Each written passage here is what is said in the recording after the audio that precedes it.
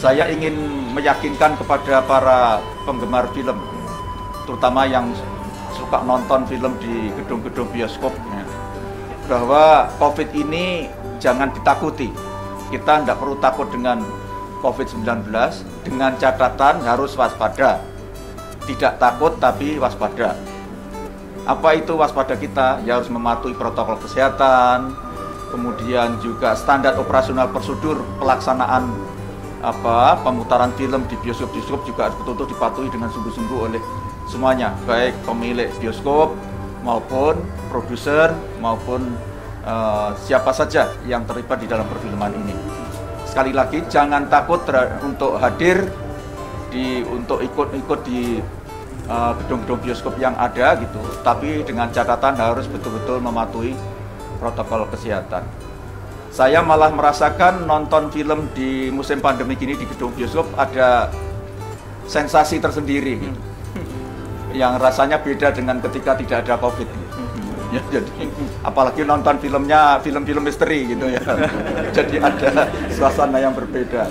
Saya kira ini sudah kesekian kalinya jenis film yang yang menggunakan pendekatan etnografis ya, menonjolkan dialek-dialek lokal, kemudian juga adat istiadat setempat.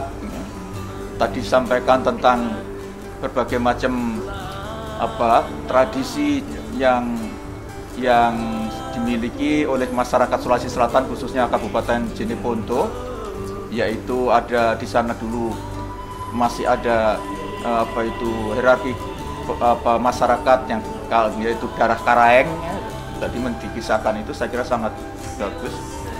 Dan uh, satu hal catatan saja yang yang mungkin kita tidak tidak perhatikan adalah peranan Amin ya.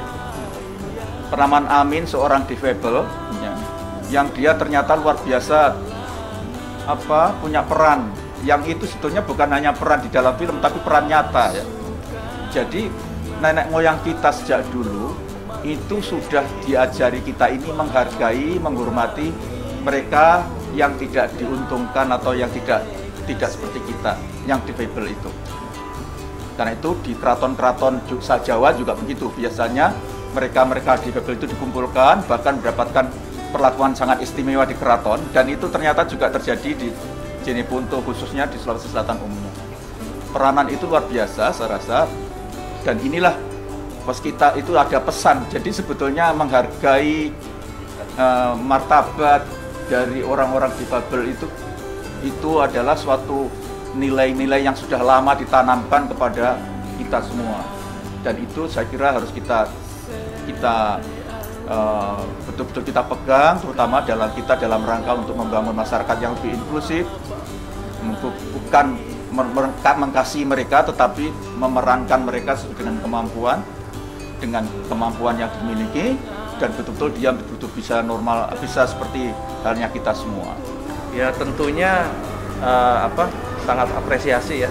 Ini bentuk dukungan pemerintah terhadap perfilman nasional. Kemudian ini menjadi spirit juga buat uh, sineas untuk tetap berkarya tetap uh, produktif berkreativitas dalam kondisi pandemi hari ini.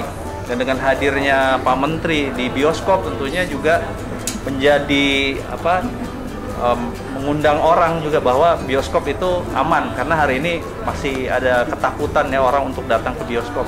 Nah, dengan hadirnya Pak Menteri tentunya menjadi satu apa uh, motivasi bahwa bioskop aman selama kita mematuhi protokol kesehatan.